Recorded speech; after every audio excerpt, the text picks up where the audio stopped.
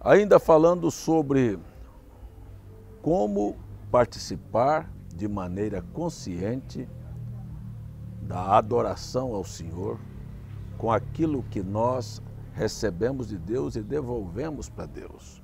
Tenho ensinado às pessoas: você nunca deve trazer seu dízimo à igreja, nem a um pastor. Você deve, por fé, trazer seu dízimo e suas ofertas ao Senhor. Ore, dedique aquilo a Deus e com fé devolva ao Senhor. O que o pastor, o que a igreja irá fazer com aquilo, este é um problema que aquele líder terá que acertar com Deus. Sou extremamente contrário a pessoas oprimirem as pessoas, pedirem, implorarem por dinheiro. Acho que a Bíblia é clara. Melquisedeque não pediu para Abraão, mas a fé de Abraão fez com que ele fosse dizimista. E você vai ver que na Bíblia nós encontramos sempre assim. Os dízimos foram colocados, e você vê Abraão dando dízimo a um sacerdote. Depois, mais tarde, na lei, seguindo este padrão, porque aquele que haveria de representar a tribo sacerdotal, que era levita, estava nos lombos de Abraão, e a Bíblia diz que ele dizimou estando nos lombos do seu bisavô. Veja você que, então, seguindo este padrão, Moisés, servo de Deus, quando separou a casa de Levi por ordem de Deus para o sacerdócio, aqueles levitas, os dízimos eram dados para que eles sobrevivessem daquele dízimo. E o profeta William Brana disse que o dízimo é dado para que o pastor sobreviva daquele dízimo, da, dos dízimos. Agora, lembra-te que você terá que dar conta da tua administração um dia ao Senhor. O que você faz com aquilo que as pessoas ofertam a Deus.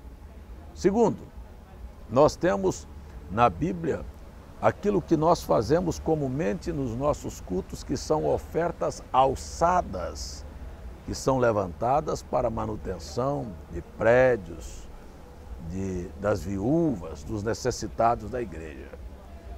E temos uma terceira oferta apresentada na Bíblia, que são ofertas voluntárias, aquelas que as pessoas no seu coração, e muitas delas prometem ao Senhor de fazerem uma oferta em um determinado fim específico na vida delas. Então, todas essas ofertas devem ser voluntárias, devem ser ofertas espontâneas, devem nascer no coração das pessoas.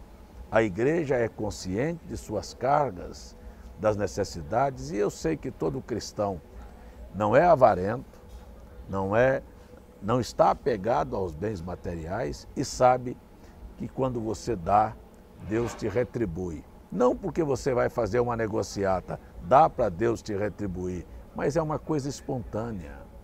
É uma coisa que nós temos confiança e certeza. Você dá e Deus te dá. Hoje se prega que você deve dar para Deus te dar. E se assim fosse, Abraão teria aceitado a proposta do rei de Sodoma lá no capítulo 14 do livro de Gênesis, porque ele deu o dízimo e o rei de Sodoma disse: pode ficar com todos os bens para você. Ele rejeitou. Nós não queremos o que o diabo nos dá, queremos o que Deus nos dá.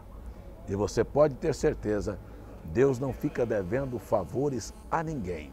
E se você prestar atenção, grandes coisas tem feito o Senhor por você.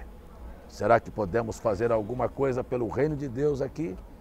Esta é uma interrogação que eu quero deixar no teu coração. Deus te abençoe.